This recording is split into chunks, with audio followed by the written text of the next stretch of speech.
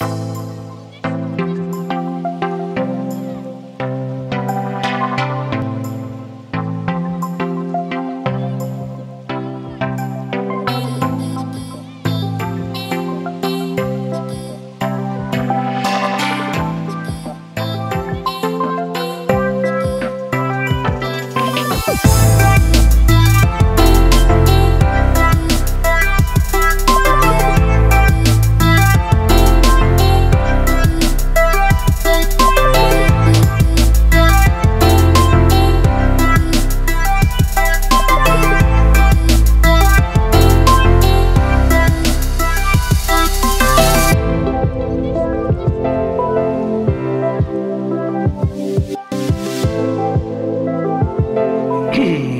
Haideți să începem cu prima întâmplare a, acestei, a nașterii acestei colecții.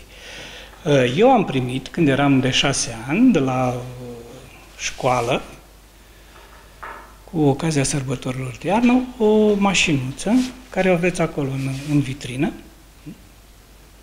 și am trăit cu nostalgia ei, adică nostal, nu, nu am trăit cu nostalgia, am, am jucat cu ea, am desfăcut-o, am distrus-o, ca orice copil când primește o jucărie, asta le spuneam și, și copilașilor care au fost aici, curiozitatea. Noi, noi oameni avem această însușire a curiozității, deci cu cât cunoaștem, cu cât uh, uh, știm mai multe, cu atât am vrea să știm mai multe și curiozitatea nu trebuie să ne lipsească din, din viața noastră. În momentul în care nu mai ești curios, ești deja o persoană uh, dusă dincolo.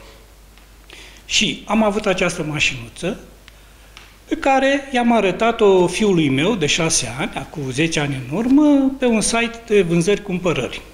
Copilul când a văzut-o, el fiind un mare pasionat de, de jucării, de jucării, de mașinuțe, de automobilism, tot ce înseamnă mecanică. I-am arătat-o și spun, uite tata, mașinuța aceasta am primit-o eu când eram mic, datorită faptului că eram atât de bun la școală, școala m-a apreciat, E un lucru foarte mare, care nu se mai întâmplă astăzi. Școala m-a apreciat, pentru că tot el parafrazând, acum mai mărișor fiind, zice, ce frumos ar fi să ne dea și nouă la școală, în momentul în care uh, suntem buni, câte o jucărie. Deci îi arăt această jucărie la care el îmi spune, tata, eu am atât de multe jucării în jurul meu. Uite-te la mine. Mi-ai cumpărat și avea tot felul de, de mașinuțe, de jucării. Ce frumos ar fi să ai și tu o jucărie de când erai mic ca mine. Și în momentul respectiv, eu am cumpărat această jucărie, mi s-au reactivat amintirile, deci asta vorbim de 40 de ani în urmă, eu având o vârstă mai, mai înaintată, în momentul în care el s-a născut, eram uh, uh, foarte fericit că am un copil și în felul ăsta mi-am reactivat toate amintirile după o viață în care nu mi-a fost prea ușor. Reactivându-mi aceste amintiri, am descoperit că, practic, așa cum mulți se refugiază în alcool, mulți se refugiază în religie, mulți se refugiază în fel și fel de lucruri și eu mă pot refugia în copilăria mea, plonjez acolo, îmi iau starea pe care o aveam când mă jucam cu această mașinuță în care eram stăpânul lumii, n-aveam nevoie nici de bani, nici de, de nici, nici, nici, nici. Eram stăpânul lumii. Acea fericire eu mă duc, o, când, când am necazuri, o iau de acolo și merg mai departe și mai trec o etapă din viața mea de, de adult. Dar cum apreciați, consideră, cum considerați copiii se descurcă mai, mai greu acum să inventeze propriile jocuri sau uh, față de, nu știu, Nu sunt sociolog, nu colaborez copiii, eu mă bucur doar de fericirea lor. Nu, nu, aici eu nu pot să-i, doar pe copilul meu pot să, să vă dau uh, da și ce să vă dau, ca orice părinte, și probabil greșim toți, toată ziua stă în fața calculatorului, ce să-i fac, ce să-i fac. Ei, uitați-vă, a făcut un afiș care... Deci copilul meu, pe care eu îl, îl bădrăgăresc toată ziua, ce faci mă, toată ziua asta la calculator, mai ieși afară. Uitați-vă ce afiș futurist a făcut, practic. Și am spus, bă, tată, dar asta e afiș, uite și tu ai numai nu, nu, nu, nu. Deci fiecare generație ambițios, are... da, și a primit apreciere, are like-uri pe, pe Facebook, fie trebuie să lăsați, nu, copilul, vedeți, noi facem o greșeală enormă. Noi încercăm să schimbăm copiii după noi. Nu, noi trebuie să ne schimbăm după copii, pentru că ei vin cu idei, vin cu, vin, sunt proaspeți. Noi suntem hărșiți, e un cuvânt, hărșiți de viață. Da? a, ce-am pățit, ce-am tot, ne lamentăm tot. Dar copilul când vine să joacă, chiar dacă se ceartă, chiar a doua zi uită. Oamenilor, treziți-vă, întorceți-vă la starea primordială pe care am avut-o, copilărie. Nu aveam nevoie nici de casă, nici de funcții, nici de orgolii, nici, nici cum stau, dacă mă înjuri vreo săptămână, stau și te rumeg în creierul meu, da? Nu, copilul până l-a înjurat, ți-a răspuns, a doua zi uită și o ia de la capăt, se ceartă între ei și o ia de la capăt. Asta trebuie să... Asta, asta ar fi ideea mea, da? Viața e scurtă, haideți să ne întoarcem în copilărie. impresii uh,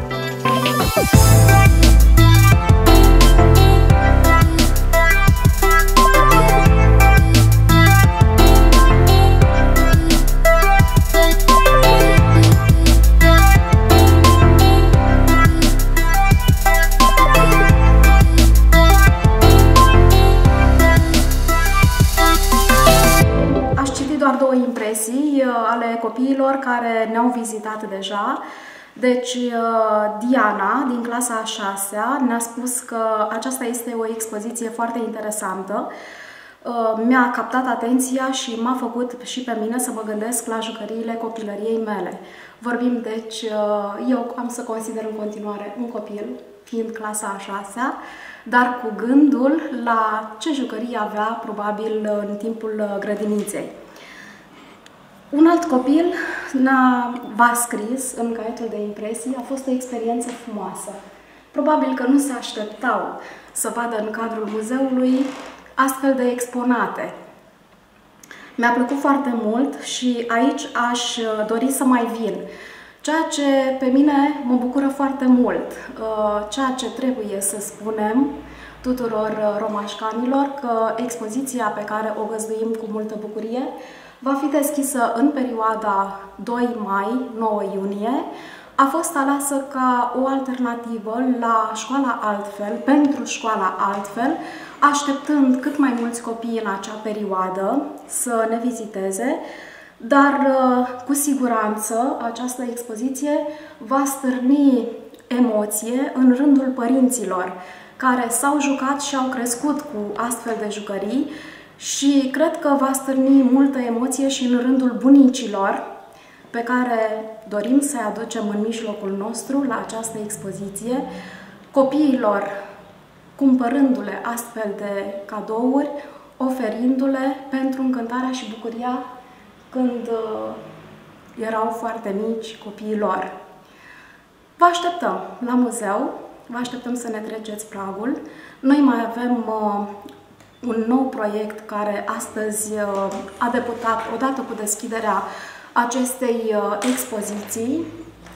Uh, în cadrul proiectului Voluntari în Muzeu ne dorim ca tinerii, elevii care au calitatea de voluntari să ne sprijine în colectarea unor jucării până pe 30 mai, urmând ca într-un eveniment organizat în parteneriat cu televiziunea locală Roman TV să oferim, să donăm acele jucării colectate, acele uh, jocuri pe care le vom uh, colecta uh, copiilor care au nevoie.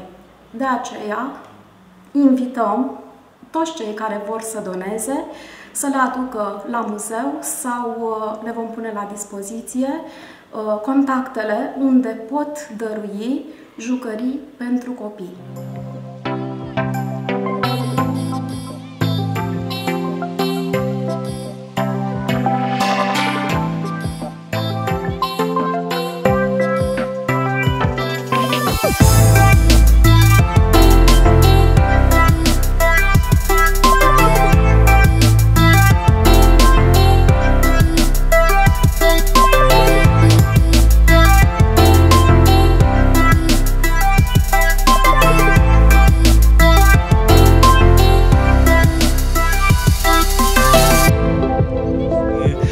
Bucur de bucuria lor și de, de prospețimea lor. Nu știu ce să vă spun, doar, fără doar și poate, această expoziție nu se adresează copiilor. Deci să fim clari și categorici.